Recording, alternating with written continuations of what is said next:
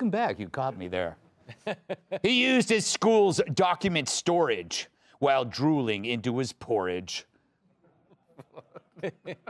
storage and porridge. You don't get that on Dateline. Once again, President Biden finds himself between a doc and a hard place. Oh, That makes me sick inside. Writers were up late last Yeah, they were. Which means it must be time for. Dogs keep on slipping, slipping, slipping to the wrong viewer. I don't care, it's illegal. You gotta let them see. Please make it legal. Let my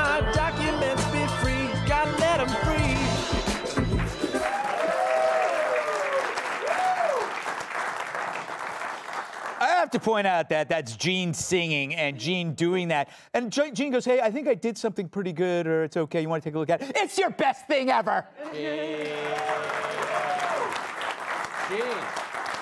Having said that, most of his stuff sucks, so.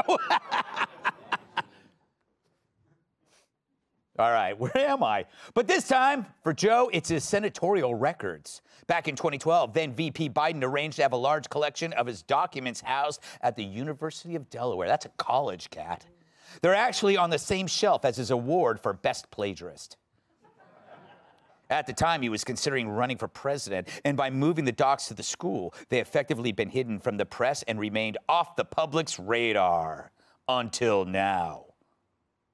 That's when we show them. Eh, just kidding. to date, the university still claims they have yet to organize and catalog them all, but it appears they're stalling like a one legged man driving a stick shift.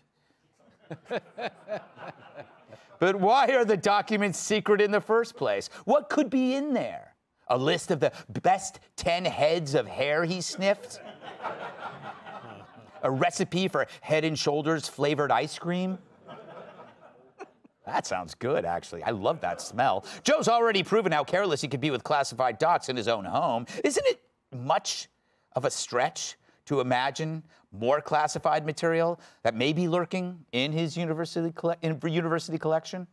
What does Joe think about this? No, no, look, look, I, I take classified documents seriously. I not only take them seriously, I take them to the beach. And I take them in my car. and I take them to the University of Delaware. You know why I like classified documents so much? I like the way they smell.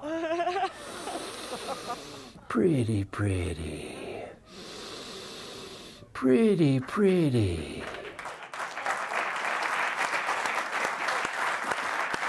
Kat, two part question, or maybe it's one part. I don't really know. Is this worse than Watergate or water polo? I think water polo is worse than Watergate. Yeah, I think so too. No one can really watch water polo, seriously. Where do you put the cameras? No. Um. All right. Well, now that we've just established that, I, I just, I, I, it, there's been so many of these that I'm getting kind of confused about like which, how many rounds have there been now? And I spend most of my waking hours at Fox News headquarters. Yes, you do. So if I don't know, then I feel like a lot of people have probably lost track. Uh, it's just very funny when you put it next to. We're trying to be like we're the most transparent. We're trying to be transparent, being as transparent as possible. It's like no, you're not. There's nothing stopping you from opening this stuff up to an outside review. You don't need like a transparency genie to do that. You can just do that. I'm curious too, and I also wish that I could classify stuff. Mm, that would be awesome. Yeah, like some like I like you know I I'm, I write things, I journal things. I would like to be like, oh, that's classified, and if you read or you snoop my stuff, you go to jail. Mm, that's very good. I would support that 100%. So yeah, that's why I'm I, I maybe I will run for president. yes. I'm 100% behind Oh, trans. don't. Douglas, do you get the sense that the Bidens, in a way, are exactly what they accused the Trumps of, of being is- and doing? Could it be that for like 50 years, this guy has been, not, been, been nothing but a corrupt joke or a clown, but he just like Well, everyone's everyone's kind of giving up on it now, aren't they? Because as Kat says, it's hard to keep a track of it. It seems like everyone has documents they shouldn't have. Um, when Mike Pence turned out to have some stuff the other day, he like volunteered it up, and it, got hardly any coverage because everyone's like, "Oh, just everyone seems to have done it." Yeah. I'll tell you what I think's going on here. The National Archives. I spoke to a friend who was in government a little while ago, and he said he thinks this is what it is. The National Archives have been annoyed for a long time about people like being too free with classified documents, and they're putting their foot down now. This is the first time in history we've seen what happens when librarians get angry. when they come after you, Greg, this is this is what you see: a bloodbath, total bloodbath. Republicans, Democrats, no one survives. They're gonna shush the out of you. Uh-oh. Yeah. So Jimmy, it kills me that uh, uh, then I have to always take the media, the media side uh, of this, which is they hounded the Trumps over their tax returns. Yep. Tax returns come out. Turns out he wasn't. He didn't make any money. I think while he was president, look bad. They- there was nothing there, and yet that goes away. And yet there is no desire for anybody in the media to actually go there and find out what's there. Well, the reason they're done with this story, and this is the reason they hate Biden, is he took away their angle to prosecute Trump. Mm. In doing that was the whole their latest sexual fantasy was Trump in handcuffs mm. because of classified information. Right. You know what I mean? This is if you look at like Pornhub in like democratic cities, that's the number one search engine is like Trump in handcuffs. Mm. But it is. But so the media is just done with it. But the people who are still talking about it are making it worse. Like the University of Delaware tried to minimize the story and made it worse because they said, well, we can't release the documents yet because we're still organizing and classifying them. Yo, it was 14 years ago. Yes. How many documents does this have that it took 14 years? Yeah. But then the other problem is like poor KJP still has to talk about it, and she's just stupid, you Yeah. know? KJP thinks transparent is a man who has a baby. Yes. She has no idea. You thought that was funny, didn't I you? thought that was very. ah, Moro! Once in a while, it happens. Do you um you so you're a lawyer, obviously. I am a you're a lawyer, lawyer. Where uh what what what can we can we sue to see these things? Can I sue to see things?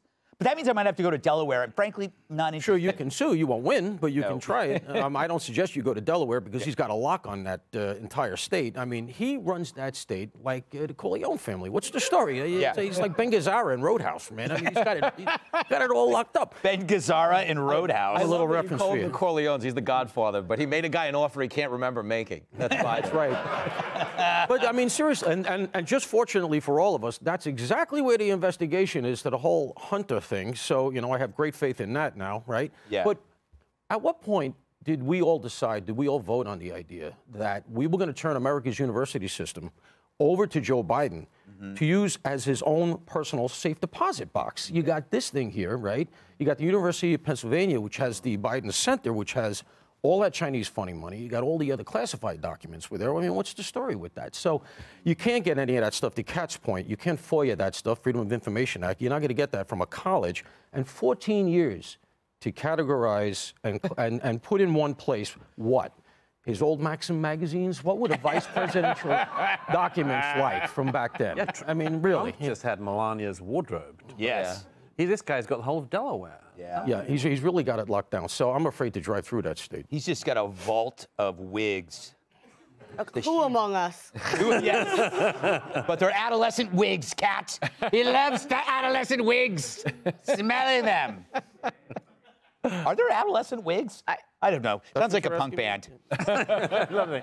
When All right, I guess we got to move on.